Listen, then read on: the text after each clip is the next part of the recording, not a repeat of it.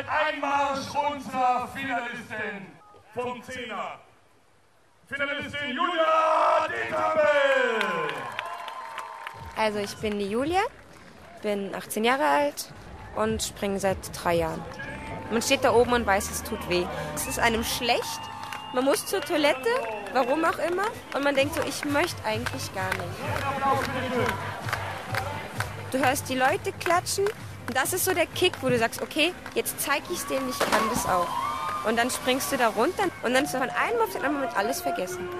Wir haben es mit dem Thema zu tun, das völlig sinnfrei auch ist. Warum springt jemand aus 10 Meter und knallt mit dem Oberschenkeln auf die Wasseroberfläche? Gibt keinen Grund dafür. Das ist einfach nur ein geiles Gefühl. Du merkst dieses Fliegen und du weißt, jetzt muss ich hochziehen, dann macht's bumm und alle sind zufrieden und ich auch. Wir haben wirklich eine ganz simple Idee. Da springt jemand vom Zehner runter, ja. Aber das gehört im Grunde dann ganz elegant in die Zielgruppe, dass es wirklich echt und authentisch ist. Und dann fängt es an weh zu tun, so nach einer Zeitverzögerung von fünf Sekunden. Dann merkt man, es tut weh. Und dann will man eigentlich nur noch aus dem Wasser raus und kommt die Leiter manchmal fast nicht mehr hoch. Auf geht's, alle klatschen in die Hände. Hopp, hopp, hopp, Splashdiving ist Fun-Sport. Wer gut drauf ist, hat gerade einen coolen Sprung vom 10-Meter-Turm gesehen. Wer schlecht drauf ist, einen Verrückten beobachtet, der sich aus reinem Imponiergehabe ziemlich wehgetan haben dürfte.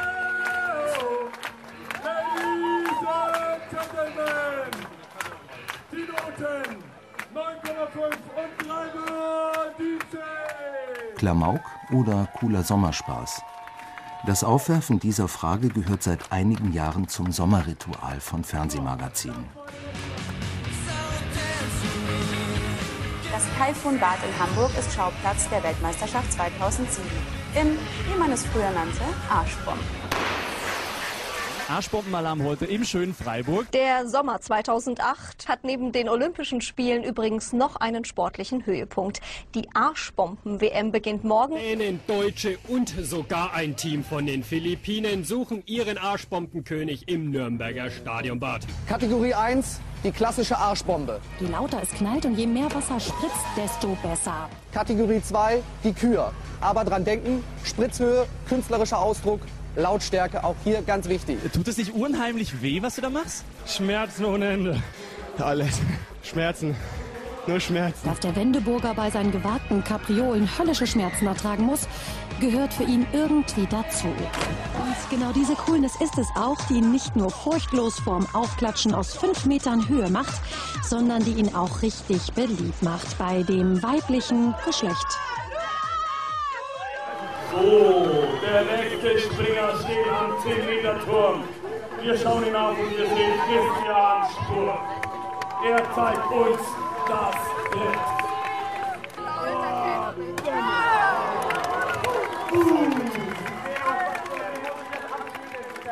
Das Sprungbecken im Würzburger Freibad ist Partyzone.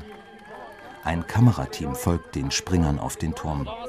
Regie führt ein Mann, der abwechselnd in Walkie-Talkie und Handy spricht. Ja, mein Name ist Olli Schill. Also ich bin so der geistige Vater und derjenige, der sich um seine geistige Idee auch gekümmert hat. Ich bin also von der Firma Kuldos und wir sind also diejenigen, die die Area 47 Splash Diving World Championship 2010 ins Leben gerufen haben bin immer fasziniert gewesen von den Freestyle-Springern in allen Bädern und ich habe ein Konzept damals geschrieben. Das Ding war ein Erfolg. Man kann sagen, es ist also im wahrsten Sinne des Wortes eingeschlagen wie eine Bombe und es war damit ein Event geboren, das zur Sportart wurde. Die Reihenfolge ist bemerkenswert. Erst entstand das Fest, dann die Sportart. Anfang 2009 bin ich ins Gespräch mit dem Oliver Schill, mit dem Gründer der Sportart gekommen, der mir dann angeboten hat, wie sieht's aus? Ihr habt ein paar gute Springer in Rheinland-Pfalz, wollt ihr nicht irgendwas machen? François Waschke leitet den Splashdiving-Landeskader Rheinland-Pfalz. Und da habe ich gesagt, so ein Verein, da sind die ganzen Leute versichert, das ist, hat eine richtig gute Grundlage, das könnte ich mal probieren. Habe dann eine Satzung geschrieben, habe dann die ganzen Unterlagen ans Amtsgericht geschickt und habe dann meine Gründungsmitglieder zusammengesucht und dann haben wir 2009, im März 2009 war es, den Verein gegründet. Und das hat dann einen recht guten Anklang gefunden hier. Die Leute sind gekommen, haben es gesehen, wie wir trainiert haben und haben immer wieder neue gefragt, wie will auch mitmachen. Das ist eine coole Sache. Ich mache das schon öfters im Schwimmbad, ich will da auch mitmachen. Mittlerweile sind es jetzt 13 Leute. Das ist schon schön zu sehen. Dass es nicht irgendwas ist, eine Sportart, die mal gegründet wurde, die mal kurz ein paar Jahre auflebt und danach wieder verschwindet. Man sieht eigentlich jetzt schon, dass es Halt hat.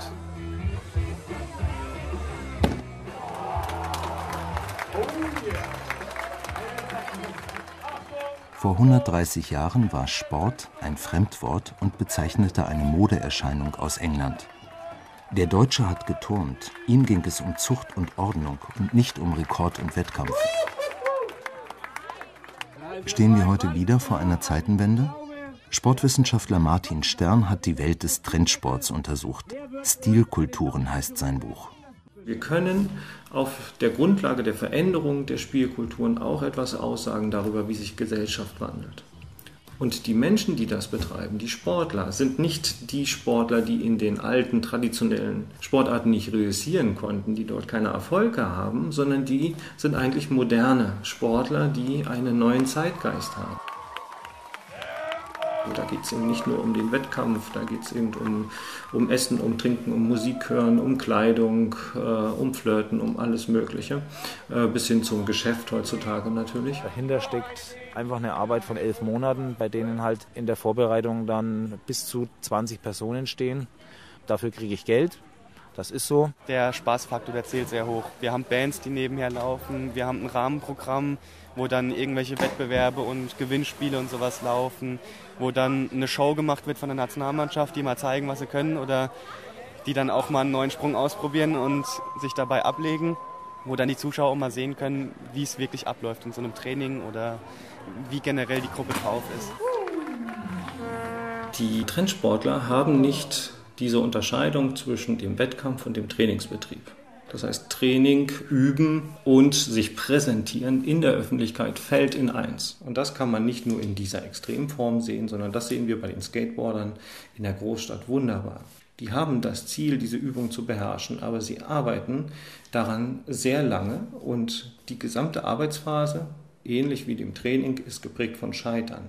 Dieses Scheitern wird aber öffentlich dargestellt. Man versteckt das nicht und geht erst dann in die Öffentlichkeit, wenn man es kann. Ich war damals mit zwei, drei Kumpels beieinander. Ja, wir hatten keine Trainer und wir haben uns immer bewegt mit Saltos und Schrauben am Sprungbrett oder jetzt auch beim Trampolin. Und da sind einfach im Grunde Sprünge gekommen, die halt Spaß und Freestyle-Charakter hatten zur damaligen Zeit. Ich bin heute 41, wo noch kein Snowboard populär war, wo Skateboarden in dem Stil noch nicht da war. Da waren natürlich so akrobatische Themen, also super gefragt aber eben noch nicht in seinem Wert draußen bei vielen Leuten kommuniziert. Ne? Es wird spannend. Wir sehen den ersten Brownie. Michi, gib mal bitte dem Uwe das Mikrofon. Was ist ein Brownie? Gib uns die Info. Das ist wie gesagt äh, ein Open Elvis mit geschlossenen Beinen.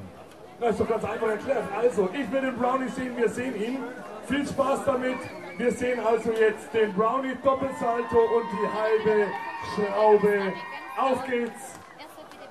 Mit 16, als ich damals aus der Schule raus bin, hat mein Vater gemeint, der Bub, der braucht ein Handwerk. Und dann habe ich eigentlich Schmied gelernt. War völlig Quatsch, die Lehre. Ich habe sie beendet und auch hier mit so, wie nennt sich, Gesellenbrief. Hatte dann einfach nicht gewusst, was ich beruflich tue. Und jetzt kommt's, ich bin dann ins Kloster gegangen. Ich war also zwei Jahre lang im Kloster habe dort meditiert und habe Spaß gehabt und wusste aber, dass in der Zeit ich auch meinen Eltern gegenüber das Ganze jetzt mal beruflich irgendwo sauber sortiert sein muss und habe mich an die Uni gesetzt, habe im Grunde dann an der Uni BWL und Marketing mir reingepfiffen und dann bin ich eigentlich dann so mit 26 bei Nokia Mobile Phone gelandet, bei dem Handyboom war ich mit dabei. Ja, und dann irgendwann kam das Thema Splashdiving auf mich zu, beziehungsweise erst hieß es Arschbombe und auch Spaß wurde ernst und wir haben es heute mit einer internationalen Sportart zu tun, die man einfach nur mehr wegradieren kann. Snowboard zum Beispiel hat, glaube ich, 15 Jahre gebraucht, bis es sich etabliert hat und wir haben hier mit Splashdiving ein Thema, das in der Zeit von ja, sechs Jahren, sieben Jahren ja, so populär wurde. Schlüsselbegriffe sind Fun und cool. Aber wie kann man im Kloster Spaß haben? Spaß insofern, weil man halt wirklich in einem Kloster keine Arbeit hat. Man sitzt und man studiert. Ja, ich habe vedische Wissenschaften studiert und das heißt acht Stunden meditieren, acht Stunden schlafen und acht Stunden Bücher wälzen. Und ich fand es eigentlich ganz cool zur damaligen Zeit. Ne? Angefangen hat es vor ungefähr fünf oder sechs Jahren. Einer bei mir aus der Judo-Gruppe hat gemeint, er hat im Internet irgendwas gesehen, da gibt es so eine komische Sportart, die nennt sich, glaube ich, Splash Diving. Und da habe ich dann nachgeguckt im Internet und die haben dann angekündigt, dass sie in diesem Jahr noch die erste Weltmeisterschaft durchführen im Saarland, in Dillingen. Das Wetter war dann recht schlecht, dann hatte ich auch nicht wirklich Lust und bin dann danach wieder auf die Homepage, als die Videos und die Bilder da waren und habe mich eigentlich geärgert, weil das, was die dort gezeigt haben, hätte ich auch annähernd hingekriegt. Und habe mir dann zu dem Zeitpunkt gesagt, ich fahre auf jeden Fall das Jahr drauf zur nächsten Weltmeisterschaft, egal wo sie ist die war dann in Hamburg. Und das war meine erste Weltmeisterschaft, wo ich dann als freier Springer mitgesprungen bin. Bin da aber auch recht schnell rausgeflogen. Das war nicht so ein großer Erfolg. Hab mir dann gesagt, ich bleibe auf jeden Fall am Ball und guck mal, dass ich ein bisschen trainiere.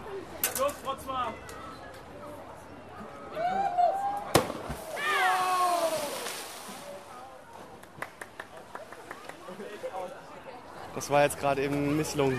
Das war jetzt kein sauberer Sprung.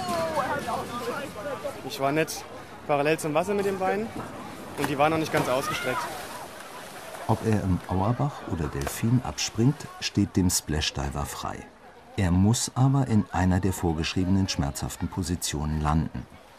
Also es fängt an mit Ripper und Anker. Das sind so die einfachen Sprünge, die eigentlich jeder hinkriegt. Dann geht es weiter mit der klassischen Arschbombe. Das ist, viele nennen es Päckchen, wo die Beine angezogen sind, wie man wie so ein Stein ins Wasser fällt. Dann haben wir den Stuhl, der wirklich aussieht wie ein Stuhl, wie wenn man auf einem Stuhl sitzen würde. Wir haben die Katze, unterteilt in große und kleine Katze. Dann haben wir das Brett, das offene Brett. Den Open Elvis ist ein recht schwerer Sprung, den macht auch so gut wie keiner. Man kommt wie eine Krampe ins Wasser, aber andersrum. Und die Besonderheit bei diesem Open Elvis ist, dass man diese Position, wie man ins Wasser eintaucht, schon über dem Zehner vollendet haben muss. Das heißt, man springt nach oben ab, nimmt die Position ein und fliegt von 10 Meter bis zum Wasser in dieser Haltung. Das kriegen nicht viele hin. Wir haben es mit einem Thema zu tun, bei dem wir eine, quasi eine Infrastruktur brauchen. Wir haben in Deutschland, wissen wir, 112 Bäder mit einem 10-Meter-Turm. 13 Bäder sind Indoor, der Rest Outdoor. Wir haben allein Kaiserslautern zwei 10-Meter-Türme. Es ist, ist ja nicht selbstverständlich, dass eine Stadt so viel Geld in die Hand nimmt und sagt, ich baue jetzt einen 10-Meter-Turm hin. Das kostet ja schon einiges an Geld. Und die sind jetzt schon auch viele Jahre alt, die Türme, aber das war damals schon, denke ich mal, eine recht große Aktion. Da gibt es zum Teil Länder, da gibt es in einem ganzen Land, ich glaube Slowenien war es, einen einzigen Turm. Ist zwar kein großes Land, aber die haben dann einen einzigen Turm und wenn dann irgendjemand springen will, der darf dann eine lange Anreise auf sich nehmen und